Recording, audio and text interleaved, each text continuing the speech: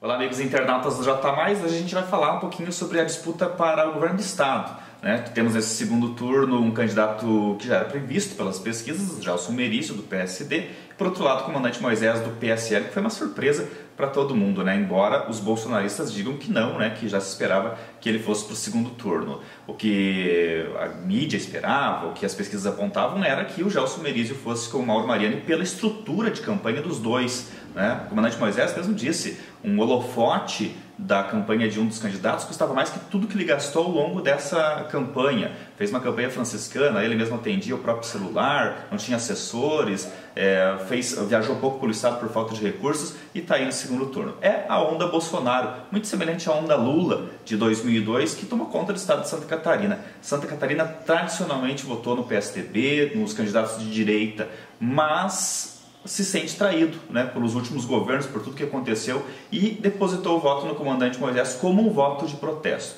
O comandante Moisés é uma pessoa bastante curiosa, me parece que inclusive ele não compartilha de todas as ideias do Bolsonaro, mas tem essa vontade de, é, de mudança, essa vontade de antipolítica, né, esse desejo de antipolítica, quer dizer, de ser um candidato, de ser um governador agora, né, já que está aí no segundo turno, um governador que não divida o Estado entre os amigos, entre os companheiros, entre aqueles aliados, o que, segundo ele mesmo disse, não está muito longe da verdade, não, é, aconteceu nos últimos anos, com as polialianças que elegeram os últimos quatro governadores, os últimos quatro mandatos aqui no estado de Santa Catarina e que agora nessa, nessa campanha se dividiu, rachou, né? O caso do Merizio foi para um lado, Mauro Mariano foi para o outro e deu no que deu, né? Tá aí o resultado desse segundo turno. Não dá para dizer que foi a polialiança, o fim da polialiança que fez com que o Mauro Mariano não fosse para o segundo turno. Eu acho que é muito mais grave. A questão é realmente do, da antipatia do catarinense com a política tradicional. Mas vá saber né, o que, que resultado daria se a polialiança fosse reeditada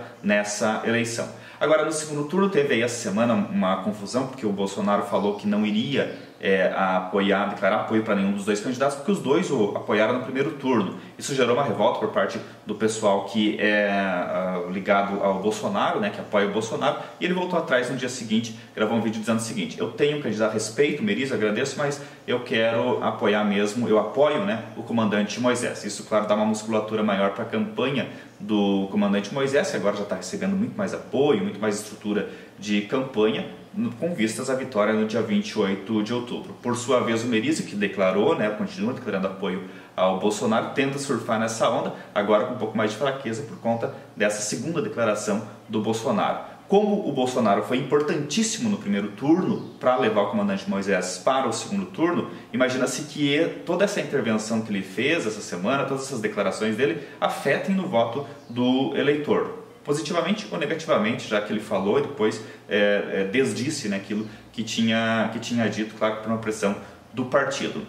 O fato é que o comandante Moisés é o novo, é a, o que realmente seria uma renovação, porque o Merizio vem aí como uma sequência do governo do Raimundo Colombo, né? E como há uma forte, um forte apelo por, por renovação, o comandante Moisés tem sim reais chances de vencer, mesmo tendo uma estrutura de campanha bem menor do que a do Merizio, que tem articulação no estado todo, prefe... mais 100 prefeitos trabalhando a favor dele em todo o estado, vários vereadores, e o comandante Moisés tem uma estrutura bem menor, né? Eu não tenho essa informação, mas creio que não existe nenhum prefeito do PSL aqui em Santa Catarina. Bom, o jogo está só começando nesse segundo turno, tem muito mais por aí e a gente vai se informando aqui pelo J.